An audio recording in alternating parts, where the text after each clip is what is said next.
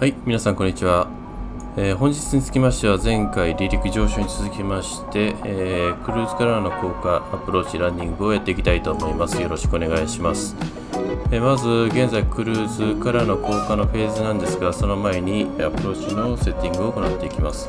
本日のアプローチにつきましては、要点サースアライバルから ILS の01 Right Yankee のアプローチを行います。まず FMS のセッティングを確認します。まずフライトプランでネイバー以降の要点までのルート。これが要点サースアライバルになります。それ以後につきましては ILS のヤンキー01ライト。ルートにつきましては要点から要台。そしてランウェイの01ライトといった流れになります。レディオナブフリケンにつきましては ILS の01ライト。周波数は11075えー、現在千歳の天気ですが QNH は297 two 気温は20度。風が010から3ノット。で Transition Altitude が1万4000フィート。 Approach Speed につきましては Conf Full の VLS145 ノットにプラス5で150ノットが Approach Speed となります。また MDA の項目につきましては ILS の01 Right の DA257 をセットします。ご覧のページにつきましては変更できませんのでこのままでいきます、えー、また着陸時のオートブレーキはローを使用しますのでローをセレクトします。これによりまして要点サースアレバーから ILS の01ライトのセッティングは終了いたしました。以降降下開始につきましては、えー、ここの矢印白い矢印があるんですがこの辺りで ATC からの降下の指示があると思いますので、えー、基本的には ATC の指示に従っていきたいと思います。また自分で公開値を判断して公開していきたいといった方の参考としましては現在3万9000フィートこの 390÷3 をしますと、えー、サンドパスの降下の開始のポイントが出ますのでこれですと約130ですね。130マイル手前から降下開始するとサンドパスのトップオブディセントとなりますので、えー、現在120マイルアークの点線がここですので約130マイルここら辺ですかね。ここら辺に、えー、ランウェイの01ライトのポイントから開始するとですねちょうどサンドパスで降下開始することができますのでそれも参考にしてみてください。Descend and maintain flight level 290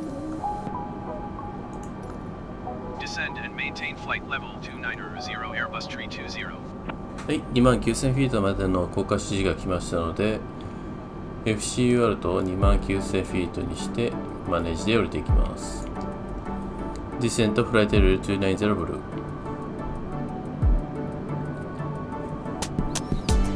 まあ、1万4000フィート通過しましたので QNH297 に変更します。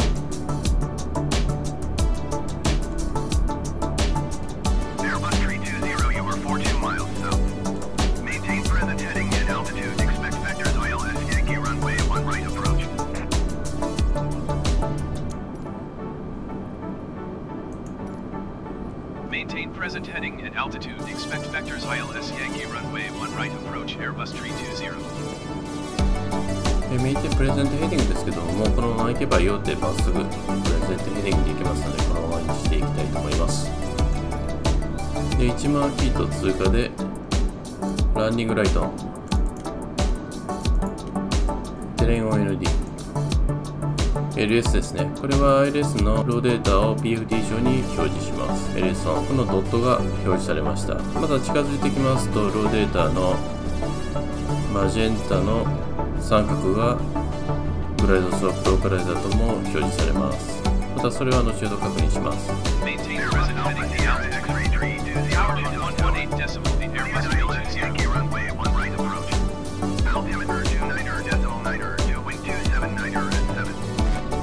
Approach Mode Arm する前に、えー、周波数ですね、 India Charlie Hotel ICH の110.75、ファイナルコースが002、MDA が257、ILS の01 Right Approach を確認します。ここで Approach Mode を Arm します。GS ブルー、ロックブルーということで、 Glide Slope と Localizer の Arming Mode が表示されました。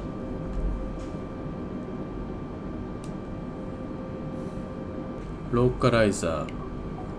ローカライザーモードはキャプチャーしました。ラップス1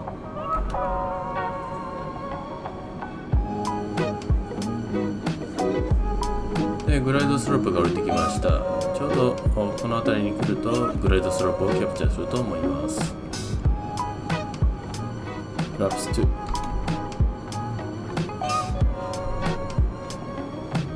GS じゃあグライドスロープをキャプチャーしました。容体を通過しました。ゴーランドあると5000フィートをセットします。滑走路が正面に見えてます。だいたい対地2500フィートぐらいでギアを下ろします。ギアダウン。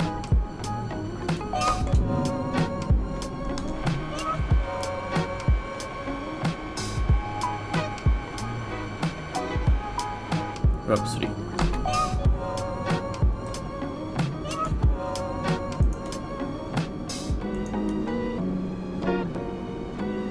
タクシーライト。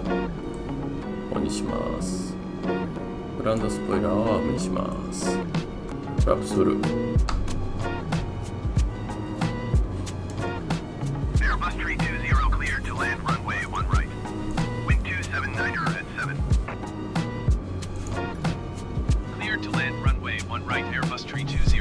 20. はい、クレートのランウェイはライト。これで現在グライドスワップとローカライザーに乗ってますので DA ですね257フィートまで行くことが可能です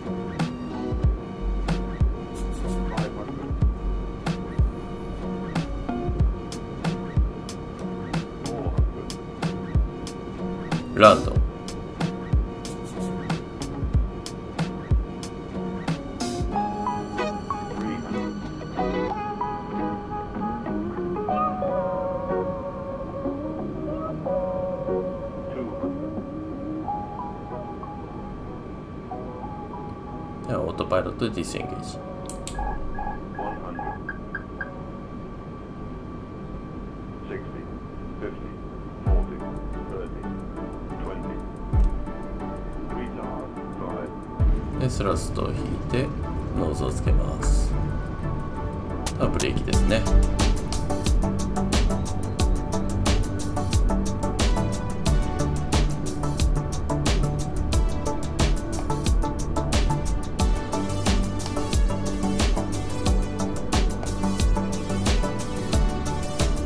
ここからランウェイを Vacate していきます「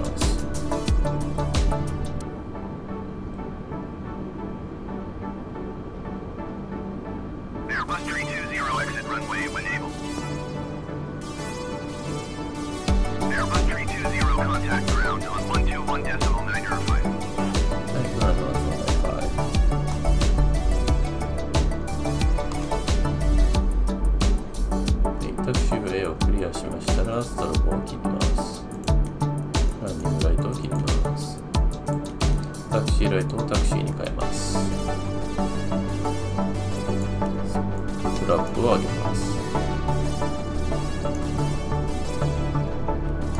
レーダーをオフにします。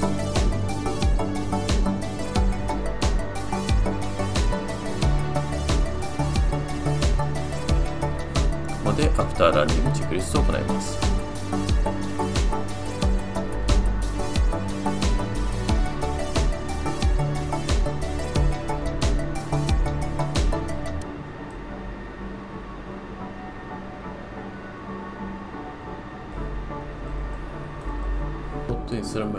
タクシーライトオフにします。AP をスタートにします。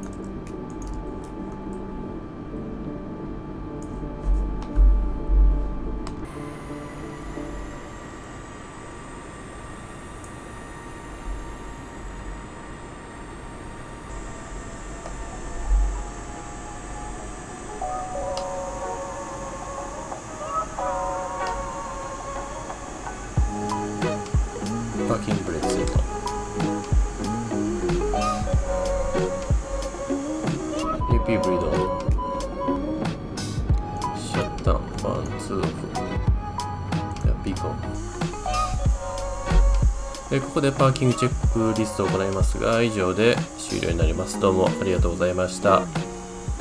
えまた今度は一連の流れを皆様にお伝えしたいと思いますので、またご視聴お願いいたします。よろしくお願いします。チャンネル登録もお願いします。